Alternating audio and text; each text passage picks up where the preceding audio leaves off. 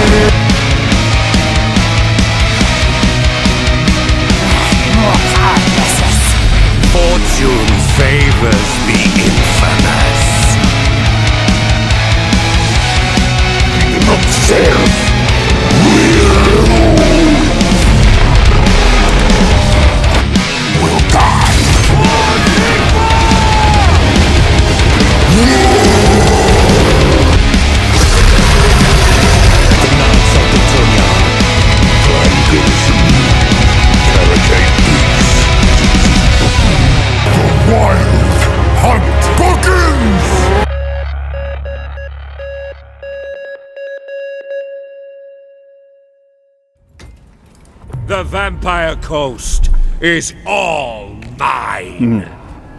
Yo ho ho and a bottle of rum. What's up, Strat fans? It's Colonel Strat, the strategy extraordinaire here, and today I'm going to take a look at the Vampire Coast, one of the most unique um, factions I've ever seen for a Total War. Um, they're undead pirates, something I've, you know, I've, I've heard of before, but you know, it's something very interesting in the Total War Warhammer series itself, and in just Warhammer and and Total War itself too. So it's one of my favorite ones to like just experiment. It's very out there, outlandish. Um, such a concept is just you know insane to the mind. But you know, without but but even though it is you know kind of insane, it, it kind of met it kind of matches um, the character we'll be exploring today for their base guide, and that's Luthor Harkon, who is literally an insane de- undead pirate. Um, so he, even though they, they all, for this DLC, they all have different things for them, but I think Luthor, Luthor is probably the um, most, like, basic, even though um, him and Noctilus are still are both pretty basic. Noctilus has a lot more of a um, like more like a Colossus heavy focus, um, whereas Luthor is more towards like you know plundering and against lizardmen and all that, and spell resistance and all that. So he he is still he he's still specialized, but for not not as specialized as the others. So I'm going to be exploring Luthor Harkon today, and um, what we're going to see. Um, let's dive into the Vampire Coast um, campaign mechanics.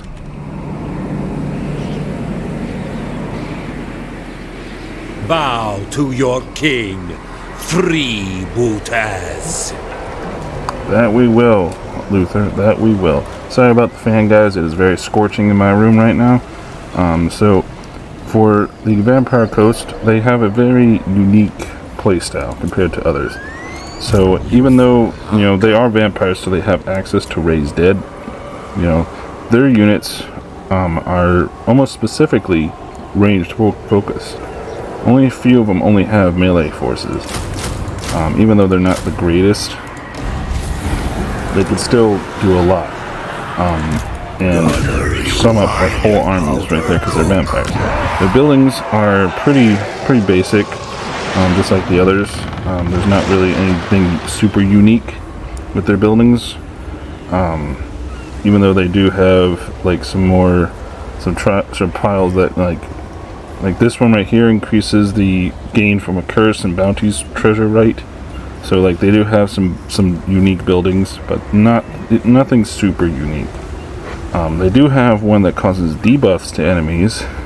Well debuffs to um, i think it's your armies as well and then you get you know buffs after you get it up but um, that's a special landmark they have now um, they are a Warhammer 2 race, so they have access to rites, and their rites are Curse of the Sea Mist, which gives um, all your regions are covered in a cursed mist, causing attrition, just like the Sandstorm one for the Tomb Kings.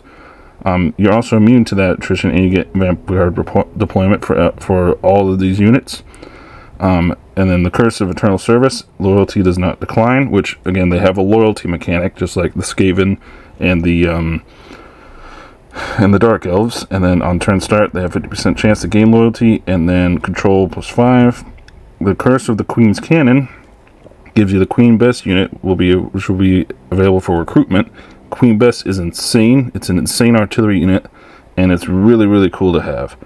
And then you go, you get some replenishment as well. And then the Curse of the Bountiful Treasure gives you 50 treasury for every building owned from the buried treasure chain, which is a nice way to like sync up some gold. So I'm going to perform that curse for the Queen Bess. Bow to your king. Mm. Freebooters. There's Queen Bess right there. Come at me. That's an insane, insane unit. And then um, for their tech trees, still it's very basic, but they do have several different ways to go. Um, like Savage Cruise increases your casualty punishment, more missile strength, more weapon strength, and then um, some attrition. And then you get some admirals that you can get here when you have enough infamy. I usually go for this one for the replenishment. So there's some basic trees for that. They also have offices, which is pretty close to the Wood Elves and formerly the Imperials offices. Um, so you get like special, um, you know, special uh, bonuses for them, like Fleet Secretary. You know, get some upkeep re- reduction, Fleet Sailing Admiral, you know, Fleet Treasurer, Fleet Engineer, you know, and so on and so forth and they they give various buffs to that lord's army and to the faction uh, overall. And then um, I think there's also uh, I don't know that's just extra words. And then there's also the treasure maps and pieces of the eight. So um, the treasure maps are what you're going to be searching for. So you know it's just like a standard pirate adventure you're going to be searching for. Riddle the map ma- maker here. And you know you just have to wait a few turns for the treasure map to pop, pop and then you can find the pieces of the eight of these gold of these balloons. And then you get uh, you know some regiment renown for that one. And i think you get certain regiment renowns um, in the um, in the in the mortal empires. But um, in warhammer 2 you'd get special bonuses as well for this.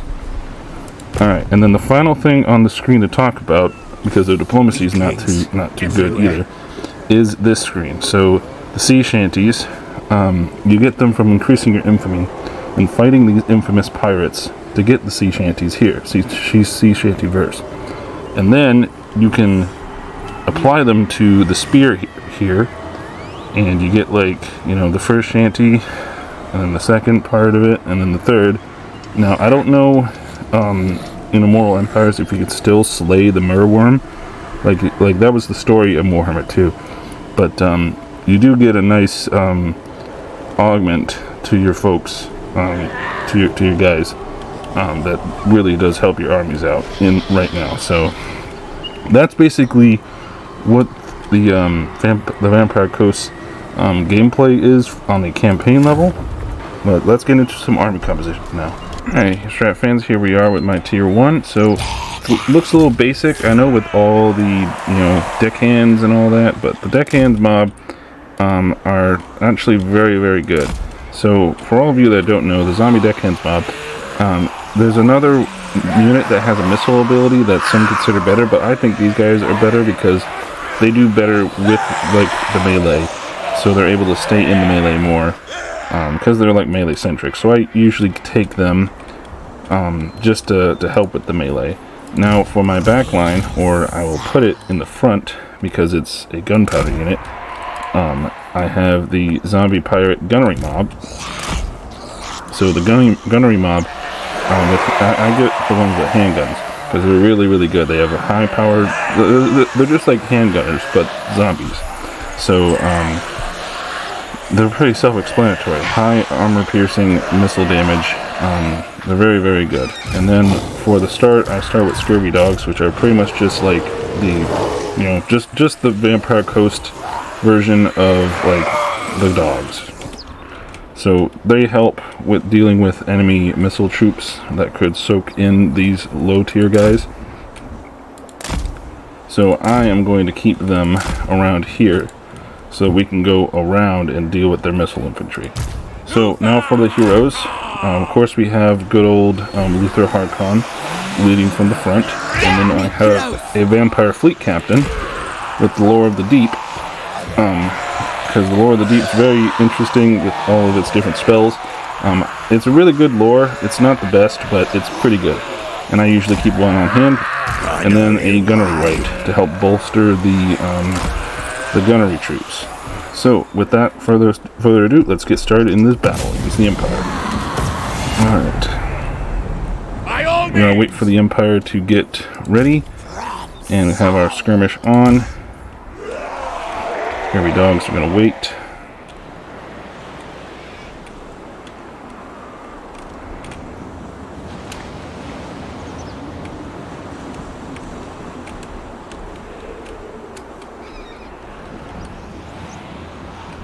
Yeah, you gotta play more defensively with these guys when you first start because they will get you know because they're they're vampire units so they're going to crumble after so long so you're going to want to try to get as much powder on the enemy as possible.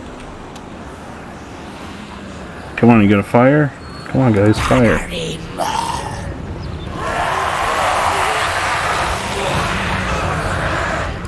That's probably because the hill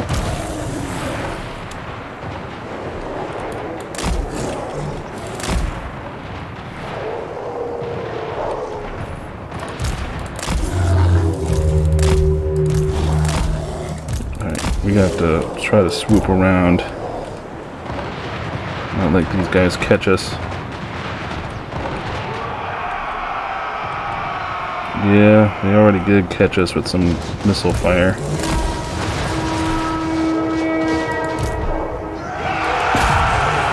Get these arrow units.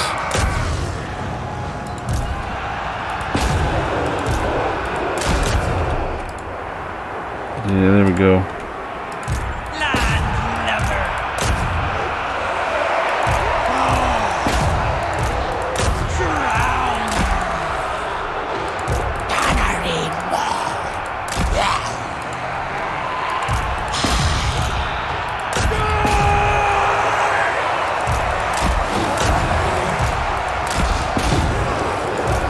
Scurvy dogs are going to help a lot.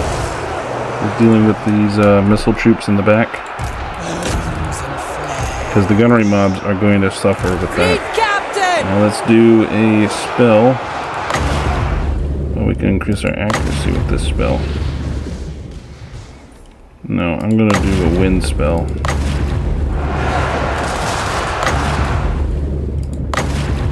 Let's do a wind.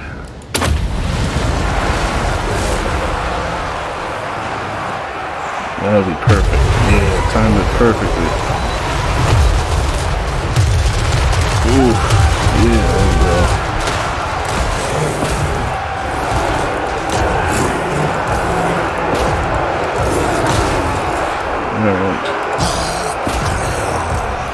Alright, I'll move around. Try to get into their flanks. I smell blood. Fleet Captain! From the Maelstrom! Finger on the trigger.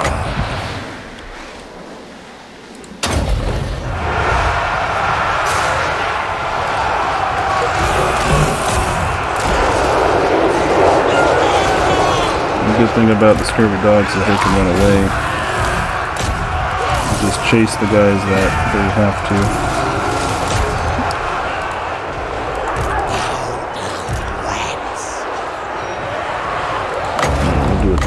Spell. Nice wind spell on these guys. Yeah, there we go. On That's my do word. it.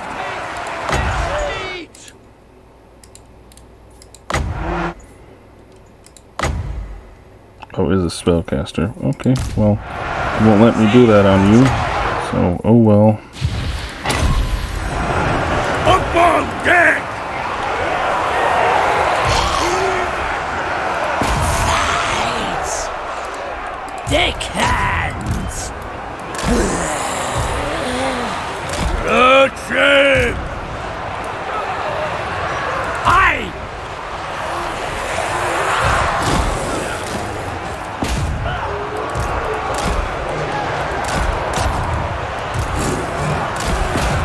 Them routing. You gotta break them. There's a lot of micromanaging in the beginning because you gotta you don't have that good of units, so you need to micromanage a little bit. Fleet captain!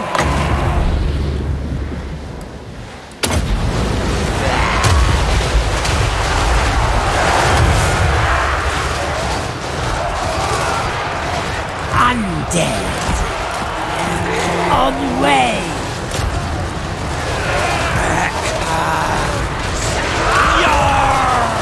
Yar! I, I love hearing that. I love hearing it, man. You just Meat scream, knife Yar! Dick hands! Alright, there's the army losses. Alright. That was a pretty decent army against a pretty decent army. We took a fair bit of casualties. But again, you know, there's a lot of micromanaging in the beginning because you don't have that good of units to rely on. But it does get better the more tiers you do. So let's go on to a tier 2. Alright, and here we are to tier 2, Strat fans. So, um, you've seen a few differences. So, um, we replaced our um, Skeleton Warriors, our, or um, I think it was Zombie Deckhand Pirates mob, um, with our Syreens. Syreens are really good. Um, they do have a weakness, being that they have no armor and only physical resist, but they but those physical resist they have is over 50%. So they're really good whenever you use them against a foe like this, which, you know, if you're playing Luthor, you're going to be playing against a lot of physical factions, not many factions that do magic damage. Um, but by the time you deal with those magic damaging factions, you'll be able to replace these guys. So for the time being, they are better. Um, and also in the back, we've replaced, completely reduced, replaced our handgunners with deck gunners. Deck gunners are insanely better. They're kind of like a weapon team, so you gotta, you know, they're very volatile, but once you get them to fire, they're gonna be really, really good at, ki- at killing things.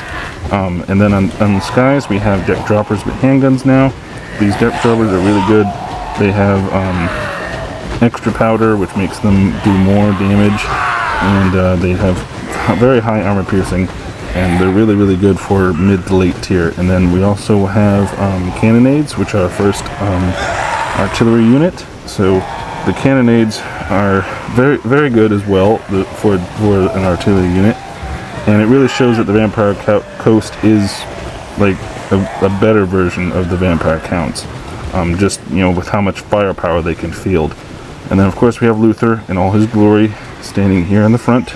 And then um, for my two other heroes, I put them both on Rotting Leviathans, my Vampire Fleet Captain, and the Gunnery Wight. So without further ado, let's go into this battle against our hated foe, the Lizardmen. Indeed! Try to close this gap.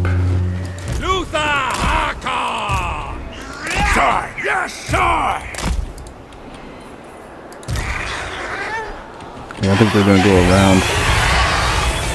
Doesn't surprise me.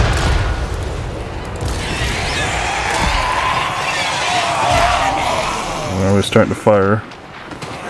That's good, and we got armor piercing, so we're gonna be able to do a lot of damage to these lizards. Let me them!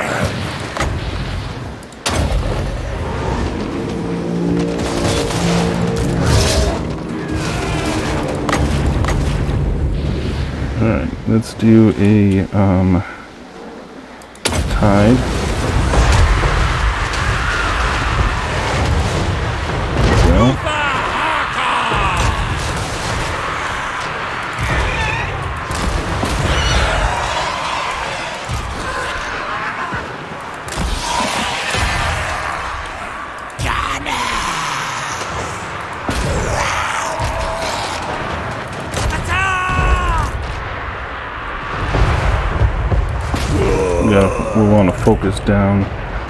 Those uh, those guys.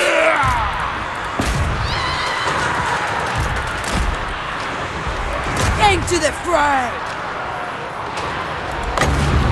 Let's get some rotting leviathans out. Get this spawn. Negashra! Get here!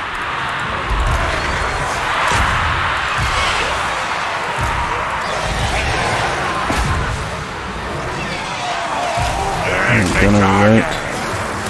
While focus down the um, hero.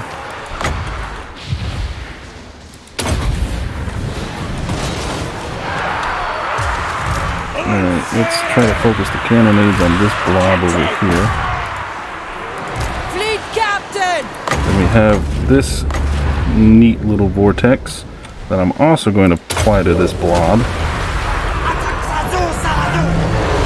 Nice little tentacle vortex. It's doing a lot of damage.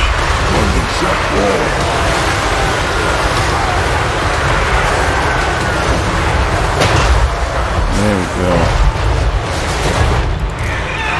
And also disrupting them as well, which is always good.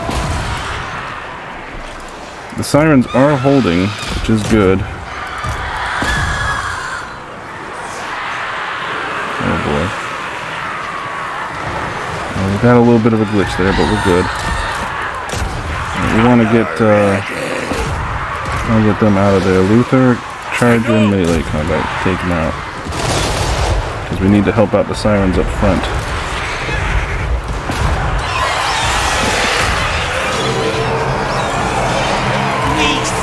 We need to do more damage to those guys over there. Because it's that blob there that's causing the most amount of damage. Syreens go up there, help them out.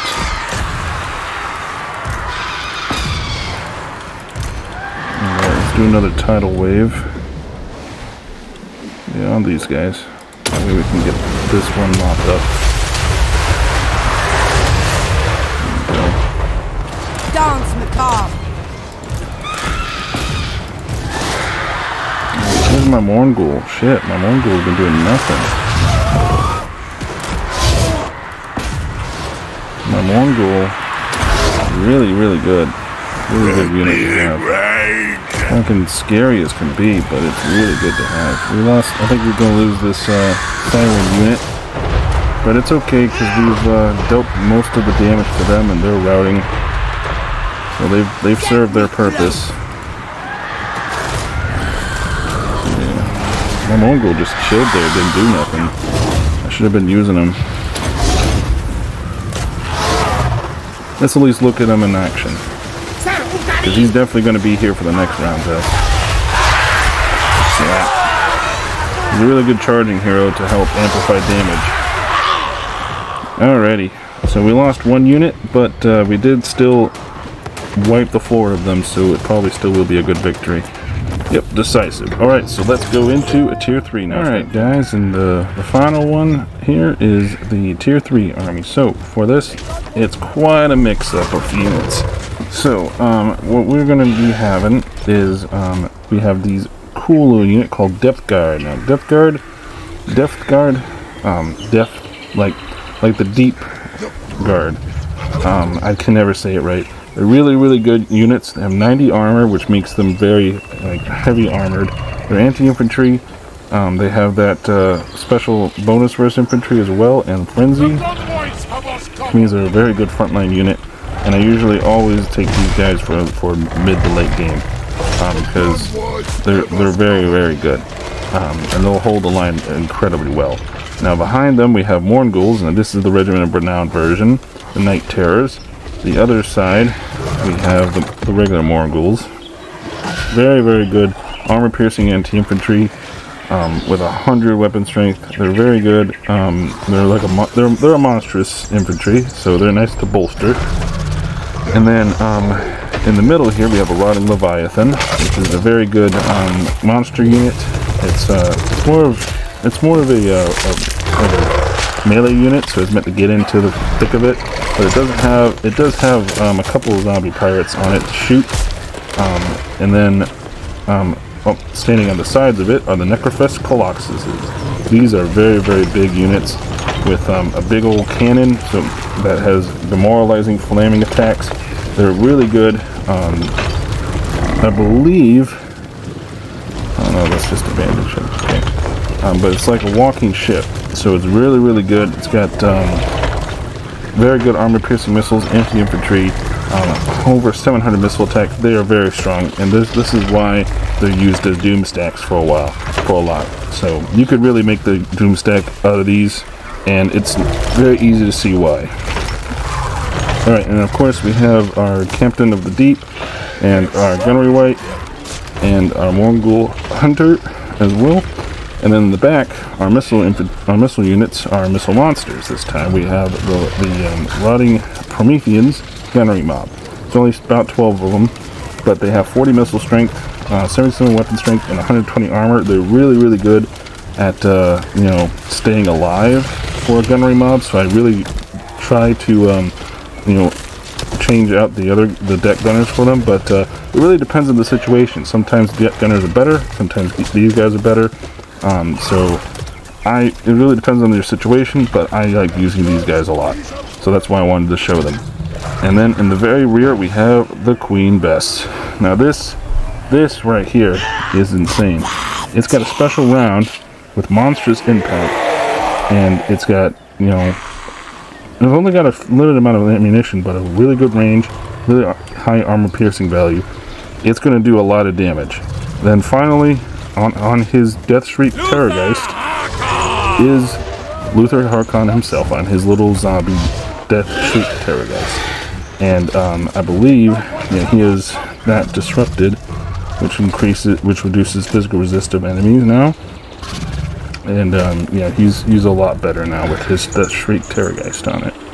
Alrighty, so with that, let's go into this final battle. Um, we're going up against the High Elves. Let's show them 1-4. I know! We're gonna have to prepare.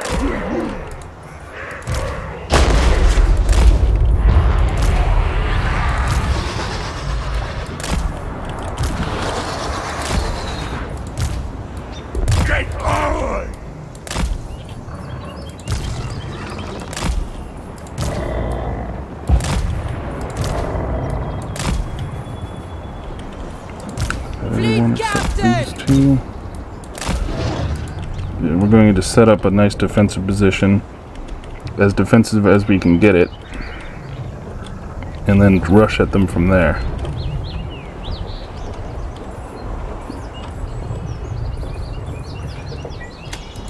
Thing is, these uh, we have a lot of things that have insane range, like the uh, Necrofex Colossus is already attacking.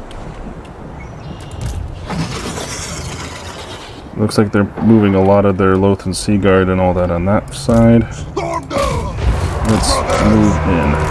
Try to try to hold them here.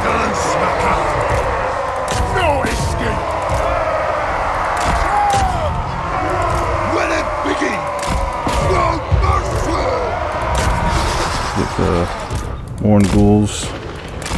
Go after these guys.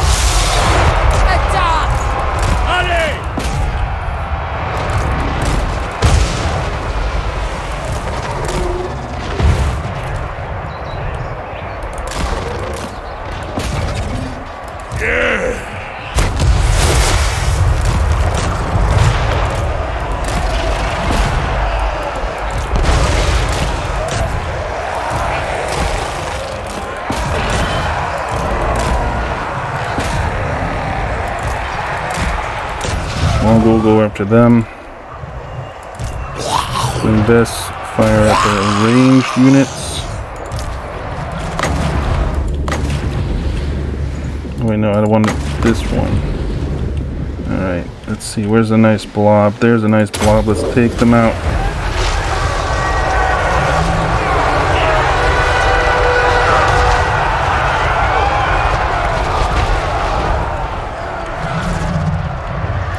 Man, come on. I want to fight this phoenix all the time.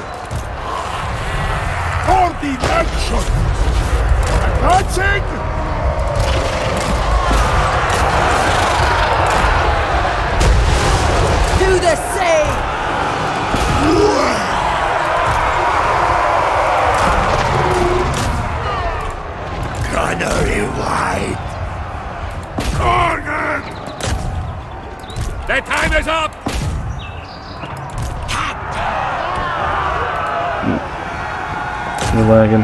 They're lagging. Let's get them. Show us! Yeah, they've started to fall back. So be it. As they die. We gotta chase them down. Ready! That we do. Thing is, we have very good units that can really destroy the enemy, and we have nothing that's gonna skirmish. And plus, we got our magic too.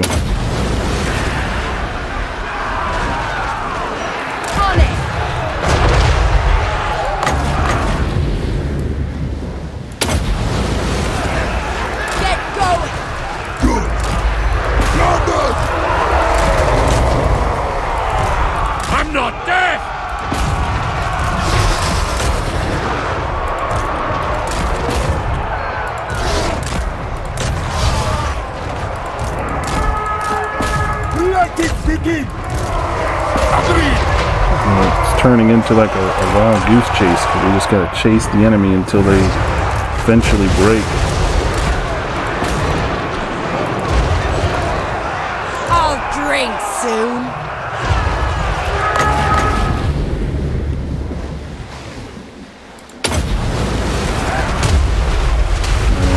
There we go. That's breaking them. And there we are, man. That's how you do it. And like I said, even though we didn't use a lot of gunpowder units with this one, we still all our units do a high level melee of missile damage, making them very, very effective. Look at that. Insane. Alrighty, and that concludes our army compositions. I hope you guys enjoyed it.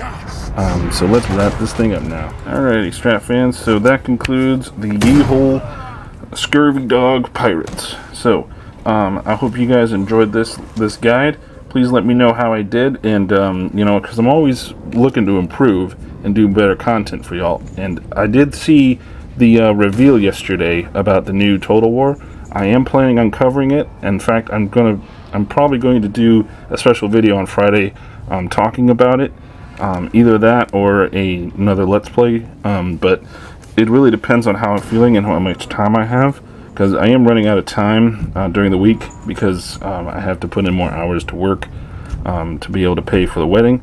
But uh, rest assured, more videos are coming, and I am going to talk about it. And I hope to um, play the new um, Total War, the new historical title that comes out, and you know make a series for that for you guys as well. So, without further ado, Strat fans, this is Colonel Strat, the strategy extraordinaire, signing off. Keep it strategic. Good, good night.